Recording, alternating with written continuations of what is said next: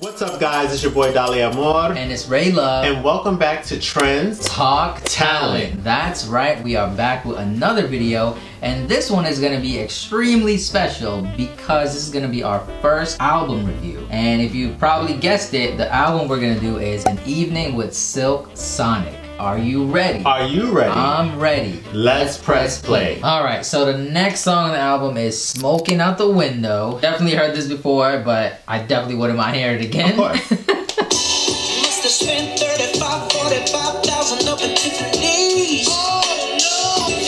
I just believe this bitch got me. you know, even though we knew it was coming, it's still like I wanted it to come though. Like that's the thing. Like I was like, yes, it's about to. he Oh, about to do it. He about to be himself right now, and I, I love that about him. I like, just know that Anderson wrote this this Yeah. part. He he wrote it because I don't think I've ever heard Bruno curse. To be honest, I don't know if I've heard him curse, but my thing is, I feel like people gravitate more to Anderson when he does Yeah. stuff like that because it's kind of like sometimes people are actually looking for music Yeah. that's not so safe. Yeah. that's not so. Oh, we're trying not to be. You mm-hmm. know, we're not. We don't want to use any type of profanity and like some people just be like, no, I want the. I want rawness. Mm-hmm. You know, like what you really want to say. Mm-hmm. You know. you know this song is just amazing. Like from the beginning, the intro, just to them, just the emotions are there. You know, I still got to find out what they're talking about. Like we we gotta. This album might be a dedication to former people in their lives. You know, let's not throw it out the window. Right.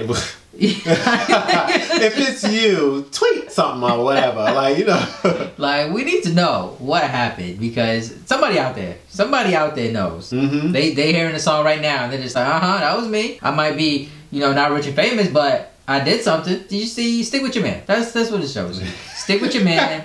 You know, whatever they going through, just stick with them because they could be doing this. Paying for trips, diamonds on the neck, diamonds on the wrist, and here I am all alone.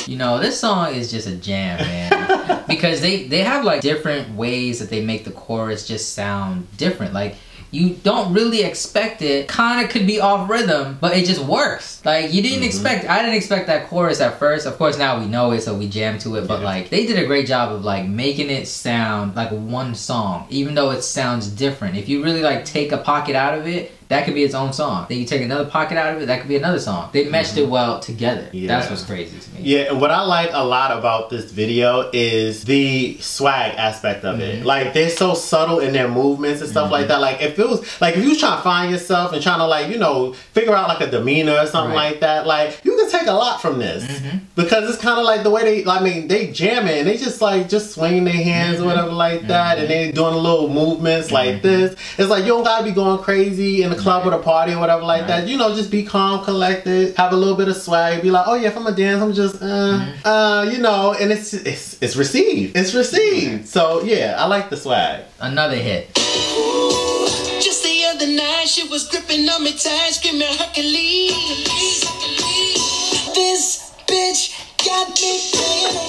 This part will always, always be like the part that stands out no matter what. Because, first of all, he's dramatic, and then Bruno comes in with the, the emphasis again, once again. We heard it before, but it just, it stands out. They knew what they was doing. And I think Anderson wrote this whole video too, because it just has his, like, aura all over it. Mm-hmm. The camera cuts, the angles, the, even the puffing of the cigarettes. This was him. This was all his idea. All his idea. I can see it. Yeah, I feel like he was definitely a heavy Right. influence on on this particular song video because I mean, look at him.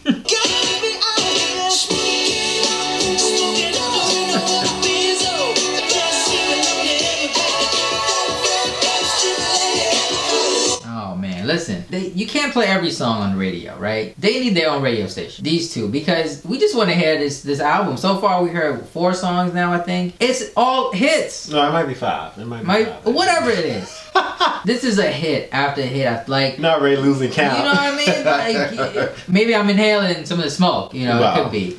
But listen, they just doing it, man. They doing it. They they're having fun with it once again. And the video is amazing for this song specifically because you can just see the fun in it. Of course, if you just heard it like an audio, it'd be like, okay, I hear this and I hear that, but you kind of want to see their expressions when they say mm-hmm. certain things and do certain things, and they nailed it every time. Like we can't say enough about this group. I don't know how they came together. We probably got to watch an interview to really see like you know what they said to each other and you mm-hmm. know. I feel like the video, mm-hmm. if you don't see the video, if the person doesn't actually make a video, mm-hmm. it's kind of taken away because it's like I want to see like what you're doing. I want to see what you would have, what your vision was for a video. You know, when people deprive you of a video, I feel like that's like you know you kind of like stepping on your own success right there because it's like that. There's something to see.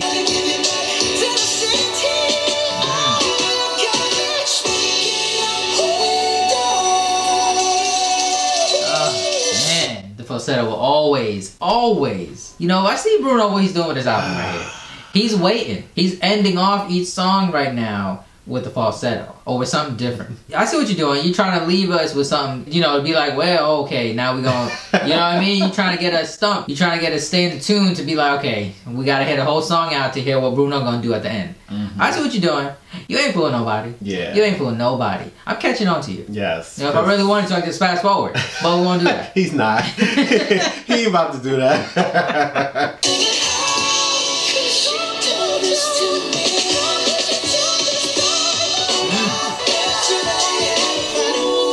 Wow. Hmm. Another hit. What what can we say? What can we really say? Smoking out the window, the song title alone is gonna be enough to just intrigue you and to be like, hey, what's that song about? Mm-hmm. Because when we first saw it, we literally said we had no idea what the song Yeah. be about. Like smoking out the window, I don't know where they were going with this. Because a lot of times I see titles and stuff, and I'm like, well, when did they actually say it? Like, Mm-hmm. Right. when did they Exactly. Like, in your mind, this relevant? in your to- mind, you're trying to get the hook or the chorus, but Right. but this one, I had no idea. Like, how is this relevant? Right. Like, I don't get it. Listen, they did that. Smoking out the window. That was the next song on the album. We're gonna move right along to the next one. Let's see what they got here. Next song is called Put On a Smile.